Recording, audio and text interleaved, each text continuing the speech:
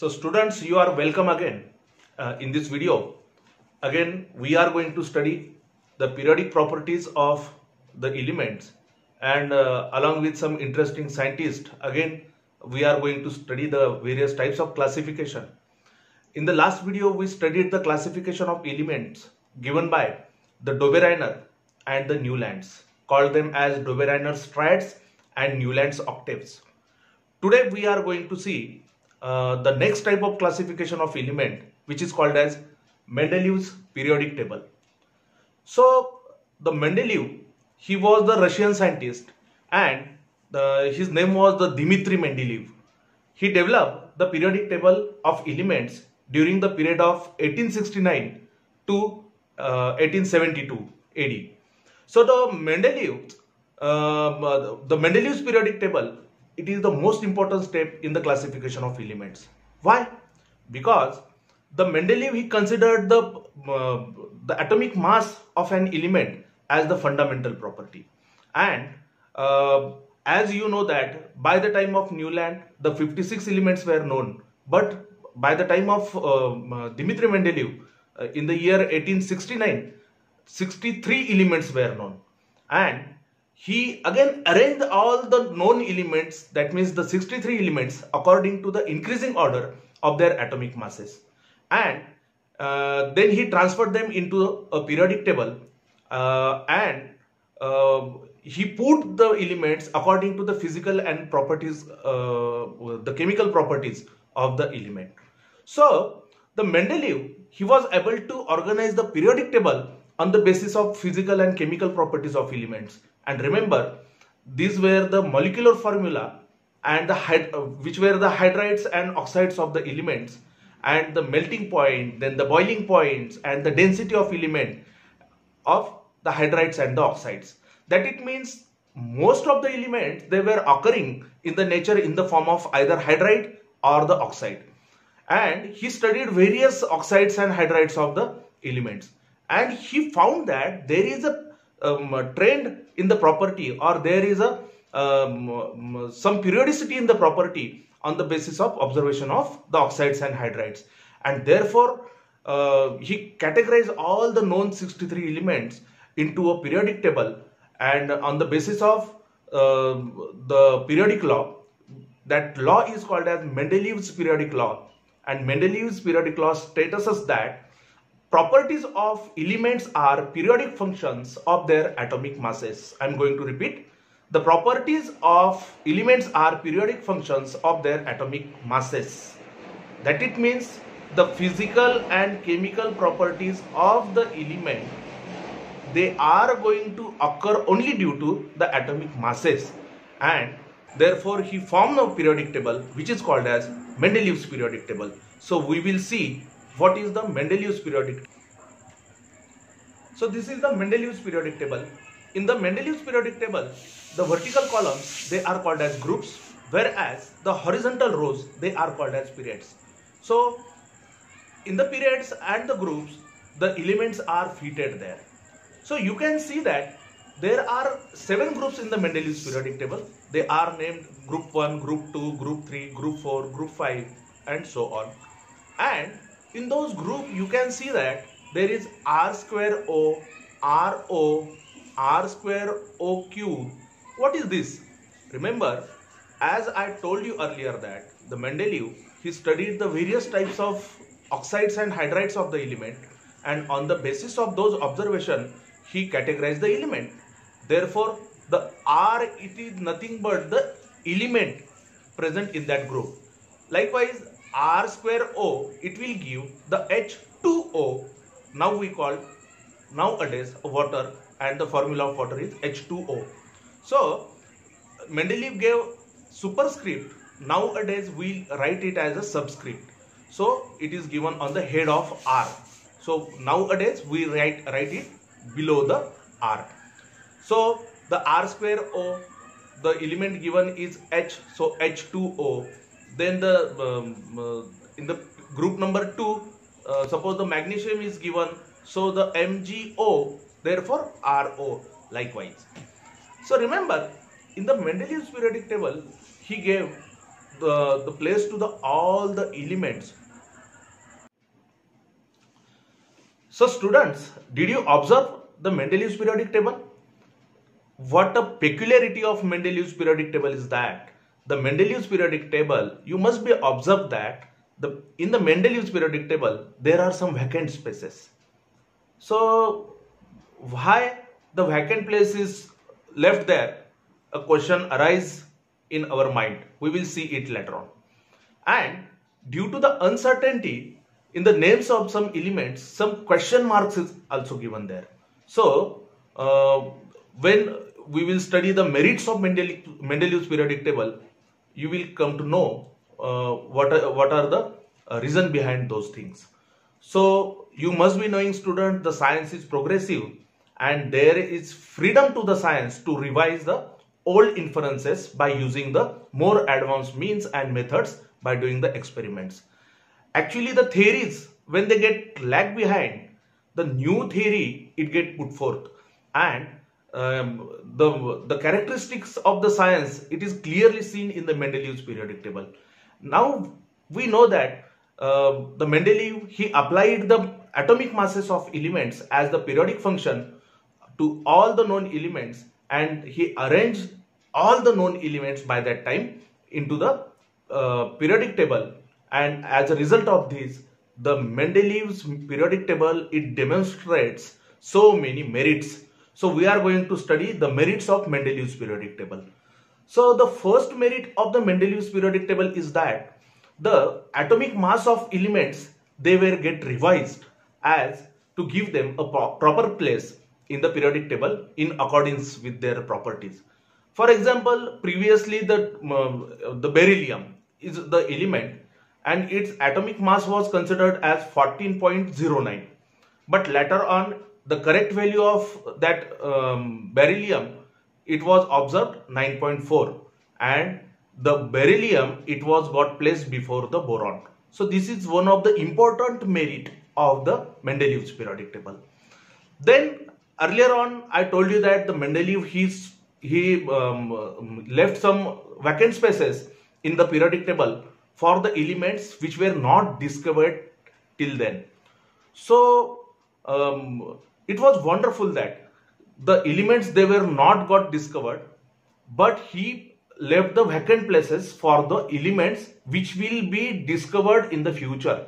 That it means he uh, predicted the elements which will get um, discovered. So he gave some um, interesting names to the elements uh, or predicted them known as Eka boron, Eka aluminium and Eka silicon. So from the known neighbor, um, the neighbors and their atomic masses, they were indicated as the 44, 68 and 72 respectively. That it means for Eka boron 44, for Eka aluminium 68 and Eka silicon 72. So, uh, but their properties were not predicted there. And later on when the elements, when they get discovered, they were named as the scandium, gallium and the germanium. That it means the Eka boron was the scandium, then the Eka aluminium was the uh, gallium and the Eka silicon, it was named after that germanium. So the properties of the, those elements, they correctly match well to the properties which were predicted by the Mendeleev. So uh, due to this, all were convinced about the importance of Mendeleev's periodic table. For example, we will see some properties of the element which was predicted by the Mendeleev and the actual properties of the element which was discovered later. Uh, Mendeleev, he predicted Eka aluminium and actually the gallium, it was discovered later on. So there were so many properties which were uh, predicted by Mendeleev. For example, first he predicted the atomic mass of the uh, Eka aluminium will be 68 and actual mass of gallium is 69.7. Then he considered the density of Eka aluminium will be 5.9 gram per uh, cubic centimeter but actually when the gallium was discovered uh, its density it was observed 5.94 uh, mm, gram per cubic centimeter. That was so close to the uh, predicted. Then the melting point. He predicted that the Eka aluminum will be having low melting point. Actually, the melting point of gallium is 30.2. The gallium is such type of element which is at the um, at room temperature it is in the liquid state then the formula of chloride of Eka aluminum will be ECl3 E for Eka aluminum and Cl3 so the gallium when it was discovered its chloride's formula is also GaCl3 that was predicted was the correct one and the formula of oxide will be E2O3 again E for the Eka aluminum Actually, when we gallium was discovered, the formula of oxide was Ga2O3. That means it was also correct. And the nature of oxide, he predicted that the oxide will be the amphoteric oxide. Actually, the gallium oxide is the amphoteric oxide. The amphoteric oxides are such oxides which shows the properties. You must be knowing that generally the oxides of non-metal are acidic in nature and the oxides of uh, the non-metals, sorry, metals, they are basic in nature. But in nature, some oxides are having such property that they do react with the acids as well as bases. That it means with acid, they acts as a base and with base, they acts as acid. Such type of acids are called as amphoteric oxide. So the uh, nature of oxide he predicted was the amphoteric oxide and actually Eka aluminium predicted amphoteric and the, um, the gallium which was discovered later was also the uh, amphoteric oxide. Then the third and important uh, merit of Mendeleev's periodic table is as you must be knowing that uh, the noble gases were not discovered by the time of Mendeleev. And the, in the original Mendeleev's periodic table um, there were um, a place was not given for the um, noble gases. But when the noble gases such as the helium, neon, argon, krypton, xenon, radon, they get discovered later on uh, and uh, among them the neon, argon, helium they were discovered by the end of 19th century. The Mendeleev he created the zero group without disturbing the original periodic table in which the noble gases were fitted very well. That it means when the noble gases get discovered, Mendeleev put them in his periodic table without disturbing the periodic table. This was a merit of Mendeleev's periodic table.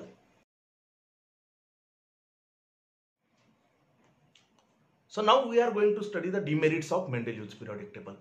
You know that Mendeleev he arranged all the known elements according to increasing order of their atomic masses. So the first demerit of Mendeleev's periodic table is about the cobalt and nickel. So remember, the whole number atomic mass of element that is the cobalt and nickel is same. So as Mendeleev has to arrange them according to increasing order of their atomic masses, so he was not able to give the proper place to cobalt and nickel. So there was the ambiguity in the sequence of cobalt and nickel in the Mendeleev's periodic table. Then the second is the, the isotopes. As you know that the isotopes they were uh, discovered after a long time um, when the Mendeleev put forth the periodic table. So as the isotopes, they possesses the same chemical properties but the different atomic masses. So a challenge was posed in placing them in the Mendeleev's periodic table. Then the third is the the uh, the order of elements. Remember, when the elements they are arranged in an increasing order of their atomic masses, the rise in the atomic mass it does not appear to be uniform. So, it was not possible uh, therefore to predict how many elements could be discovered between two heavy elements that it means he placed the vacant places. But it was there was not a specific trend in the atomic masses. Likewise suppose the first is having one then the second will be having two then the third will be having four. Then it was got um, quite predictable that how many elements will get discovered. But remember the there was not a proper sequencing in the atomic masses of the element. Therefore um, the prediction was uh, not possible and the fourth and important demerit of Mendeleev's periodic table is the position of hydrogen. So remember the hydrogen is such type of element that it shows the resemblance or the similarity uh, with the halogens that is the group 7 uh, for example chlorine fluorine bromine iodine those are the halogens. And uh, how suppose the molecular formula of H2 that is the uh, for the hydrogen. And uh, for chlorine it is the Cl2 that it means there is the resemblance in the molecular formula of halogens and the hydrogen. And in the same way the the uh, properties of hydrogen and alkali metals that the metals which are present in the group 1 is also having some similarity. Likewise uh, the sodium and potassium are the metals alkali metals which are present in the group 1 so uh, on considering the properties it cannot be decided whether the correct position of hydrogen is in the group 1 or in the group 7 that it means with the alkali metals or the halogens so this was also ambiguity in the uh, position of the hydrogen in the Mendeleev's periodic table. So in this way, today we studied the Mendeleev's periodic table, its merits and demerits.